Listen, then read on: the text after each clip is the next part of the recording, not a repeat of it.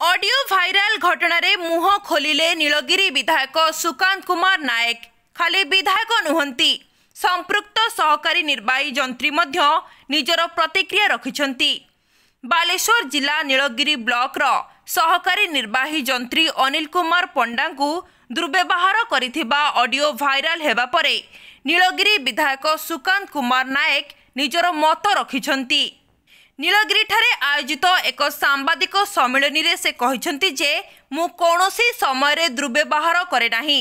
ମୁଁ ସହକାରୀ ଯନ୍ତ୍ରୀଙ୍କୁ କେବଳ ତାଗିଦ କରିଛି। ସେମାନଙ୍କୁ ସଚେତନ କରାଇବା ପାଇଁ ମୁଁ କହିଥିଲି ତୁମେ ଦୁଇଜଣ ଜେଇକୁ ସାଙ୍ଗରେ ନେଇ ଆସ। ସେମାନେ ଯେଉଁଭଳି କାମ କରିଛନ୍ତି ଭିଜିଲାନ୍ସ କେସ୍ରୁ କୌଣସି ଅଫିସର ରକ୍ଷା ପାଇପାରିବ ନାହିଁ ବୋଲି ତାଙ୍କୁ ସତର୍କ କରାଇ ଦେଇଥିଲି। ମୁଁ ଯାହା କହିଛି ନୀଳଗିରି ଲୋକଙ୍କ ପାଇଁ କହିଛି। ଅପରପକ୍ଷେ ନୀଳଗିରି ବ୍ଲକ ସହକାରୀ କାର୍ଯ୍ୟନିର୍ବାହୀ ଯନ୍ତ୍ରୀ ମଧ୍ୟ ଏନେଇ ଆଜି ଗଣମାଧ୍ୟମ ଆଗରେ ମୁହଁ ଖୋଲିଛନ୍ତି। ସେ କହିଛନ୍ତି ଯେ ଯେଉଁ କାମ ନ ହୁଏ ବିଧାୟକ ମୋତେ କହିଥାନ୍ତି। ଯଦି କେଉଁଠି କିଛି ଭୁଲ ଭଟକା ରହିଗଲା ଯଦି ତାହା ସୁଧାରିବା କାମ ହୋଇଥାଏ ତେବେ ତାହାକୁ ସୁଧାରି ଦିଆଯାଏ। ମାତ୍ର ଯଦି ସୁଧାରିବା କାମ ହୋଇନଥିବ ତେବେ ତାହା ହୋଇପାରିବ ନାହିଁ। কিন্তু বিধায়ক বিভিন্ন সময় বিভিন্ন কাম পাই আমাকে কুহতি হয়ে পার কাম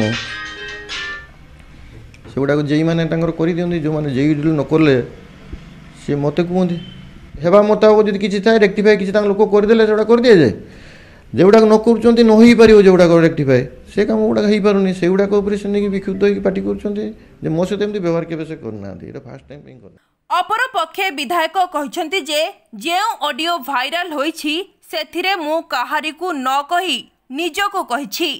ସହକାରୀ ନିର୍ବାହୀ ଯନ୍ତ୍ରୀ ଅନିଲ କୁମାର ପଣ୍ଡାଙ୍କୁ ଭାଇ ବୋଲି ସମ୍ବୋଧନ କରିଛି। ମାତ୍ର ସେ ଜଣେ ଜନପ୍ରତିନିଧିଙ୍କୁ କିପରି ବ୍ୟବହାର କରିଛନ୍ତି ତାହା ସେହି ଅଡିଓରୁ ଆପଣମାନେ ଜାଣିପାରିବେ ବୋଲି କହିଛନ୍ତି ସୁକାନ୍ତ।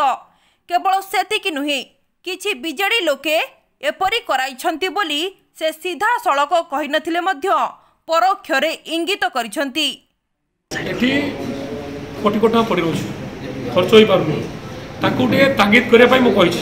ଖର୍ଚ୍ଚ ଯଦି ନ ହେବ କେମିତି ହେବ? ସେଥିପାଇଁ ଦୁଇ ଜଣ ଯାଇକି ଡାକି ଆଣିବା ପାଇଁ ମୁଁ କହିଛି। ଦୁଇ ଜଣ ଯାଇକି ଭିତରେ ଜଣଙ୍କର କାମ ହେଉଛି ଜଣଙ୍କର କାହିଁକି ହେଉନାହିଁ। ସେ ଦୁଇ ଜଣଙ୍କୁ ଆସ। ଆଉ କ'ଣ ଭୁଲ କରିଛ? ସେ ଭୁଲ ବାବଦରେ ଆମେ ଯଦି ପିଟିସନ୍ ଦେବା କେସ୍ଟା ଷ୍ଟାର୍ଟ କରିବୁ ନାହିଁ? ତୁମେ ଆସ।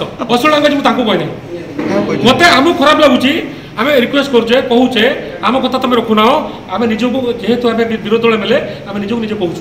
ଲୋକଙ୍କ ପାଇଁ ଲଢ଼େଇ କରୁଥିବା ସୁକାନ୍ତ କୁମାର ନାୟକ ନୀଳଗିରିର ପୂର୍ବତନ ତହସିଲଦାର ସୁଶ୍ରିତା ଟୁଡୁଙ୍କ ସହ ଝଗଡ଼ା କରି ବିବାଦରେ ଛନ୍ଦି ହୋଇ ପଡ଼ିଥିଲେ। ଏବେ ନୀଳଗିରି ବ୍ଲକ ସହକାରୀ କାର୍ଯ୍ୟନିର୍ବାହୀ ଯନ୍ତ୍ରୀଙ୍କୁ ଫୋନ୍ରେ ତାଗିଦ କରିବା ନେଇ ଚର୍ଚ୍ଚାକୁ ଆସିଛନ୍ତି। ବାଲେଶ୍ୱର ଜିଲ୍ଲା ନୀଳଗିରିରୁ ସଚିଦାନନ୍ଦ ପାତ୍ରଙ୍କ ସହ Prashant Biswal report free to speak dot in